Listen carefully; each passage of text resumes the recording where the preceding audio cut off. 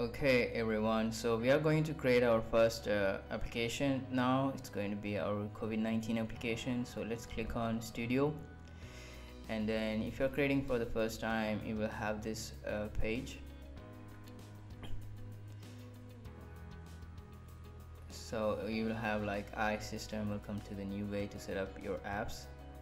So I'm gonna click on let's uh, get started and give it a name for my application so it's going to be COVID-19 and also give it a description here so you can put COVID-19 uh, dashboard or anything that you would like to have here. Click on create. So I'm going to click on continue in studio and select the application. So we have our application we don't have any files so I'm going to create first now our table.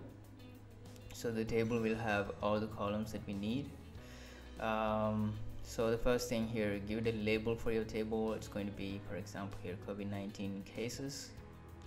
Make sure that you don't have uh, create modules or mobile modules unless you really want them have in your application. So I'm going to click on auto number as well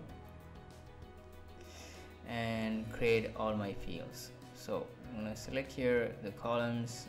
I'm going to have few fields like total confirmed total uh, death total recovered date field and the country field. Okay so the total confirmed is going to be an int type. Same thing for recovered. And I'm going to create here a total death.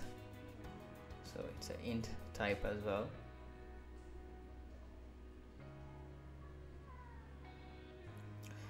And I'm going to have a date field so it's going to be a date time type.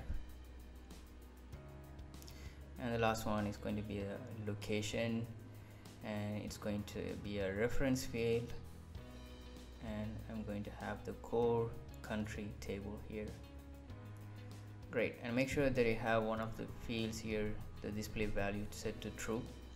Save your changes and then we are going to a little bit make some adjustment by opening our design form.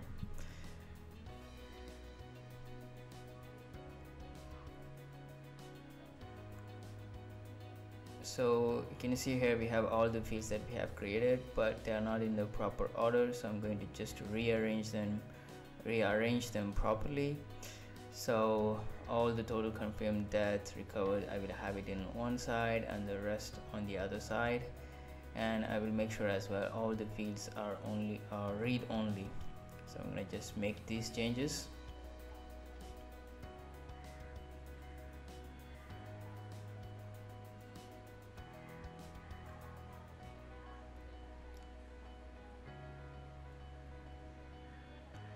Great.